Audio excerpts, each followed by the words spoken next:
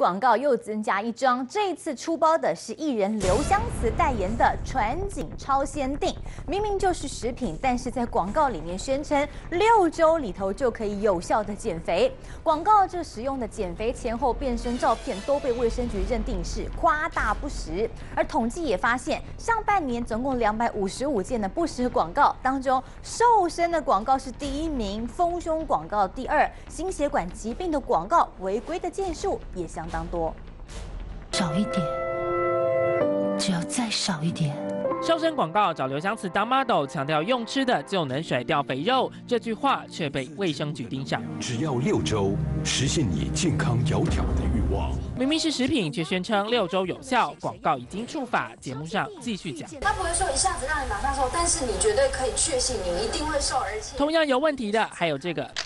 美胸堂号称食补代替药补，吃对方法能让罩杯升级，最后同样被罚。但这些广告话术，民众早就见怪不怪。有，会觉得很夸张。会，那这也没有买过。没有。新北市卫生局上半年清查违规广告两百五十五件里，诉求减肥瘦身的最多，占了三成左右。美颜丰胸居次，比例近两成。接下来才是心血管及其他疾病。显示现代人爱美胜过身体健康，业者违法也要大登广告。那会相信吗？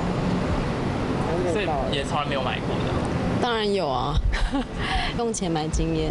所有的食品都没有办法改善哦身体的外观跟改善疾病哦。卫生局说，食品广告一旦宣称有疗效就不行，使用前后变身照片卖产品也违法，民众得多注意。记者综合报道。